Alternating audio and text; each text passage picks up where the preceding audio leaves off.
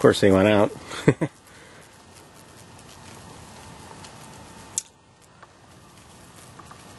so for hatching pod, I would say this is successful.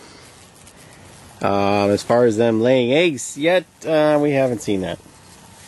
And I haven't seen the mating, which the flies don't become sexually mature for about two or three days. But they are getting all mounted up on the uh, there.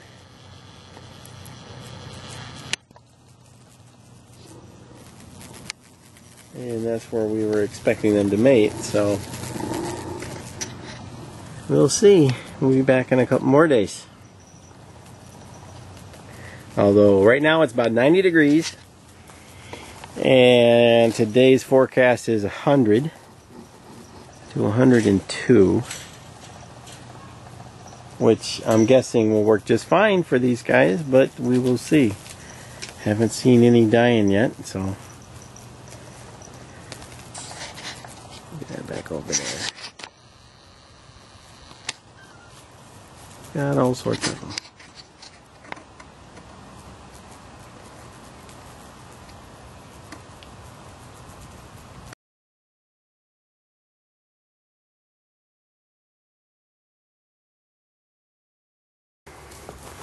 There are well over 100 flies in here.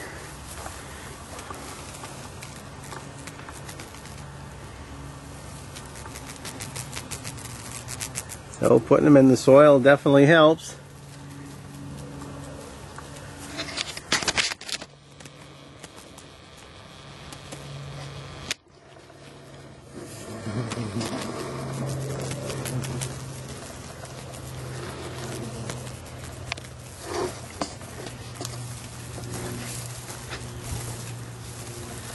And there's a pair mating over there against the side of the bin.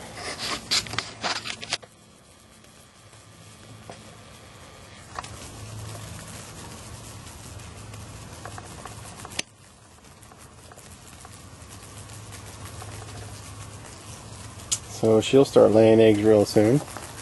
And there's another pair mating on the leaf right there. So conditions are good. Another day or so or less, I will be seeing a bunch of females over here laying eggs. And I'll probably have more black soldier flies than I know what to do with. Anybody want some? Give me a call. Look it up.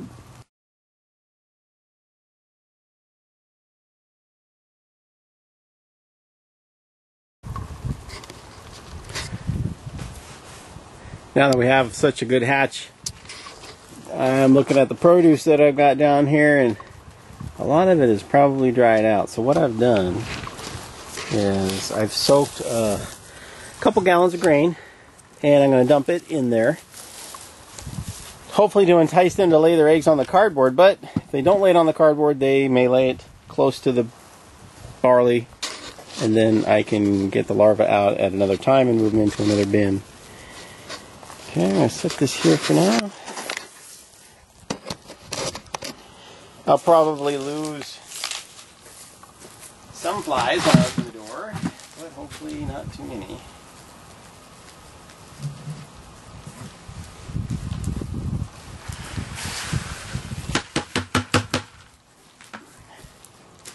Oh, yeah, there's about 10. Well, ain't too bad. Part of the reason I soaked the barley was the females want to sense that the larvae are going to have enough moisture when they hatch. So this should give them good reason to lay their eggs in this area. There we go.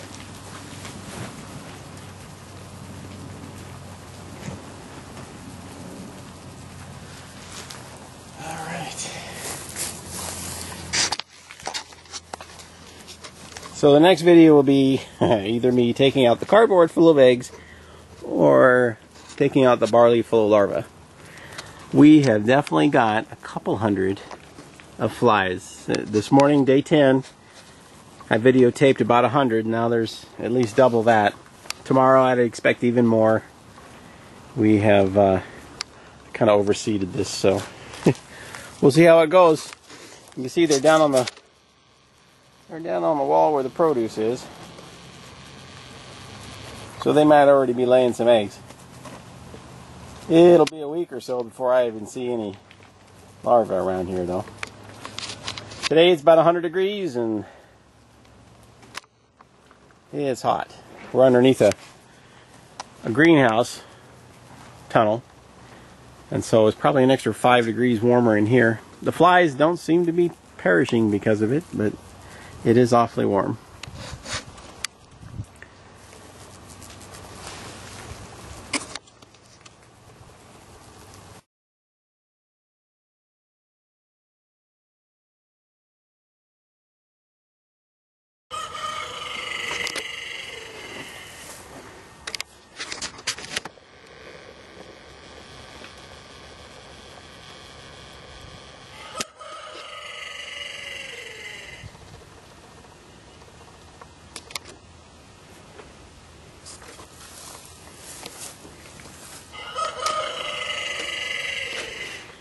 This is day 12.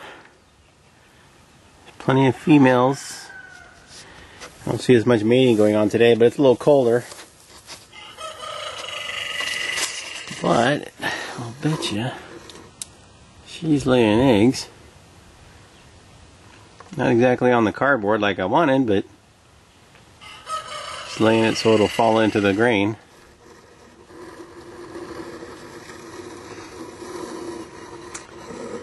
Yeah, we got lots of them.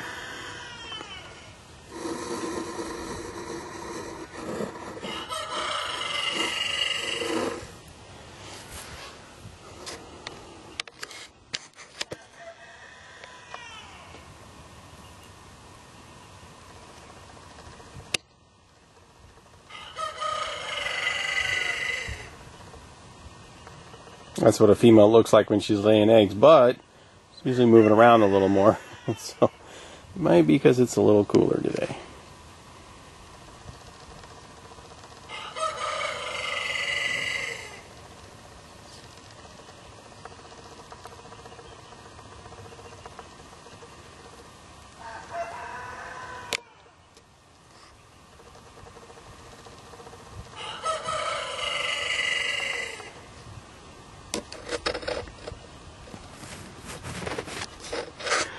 I'm putting my estimate at about 250 flies in here.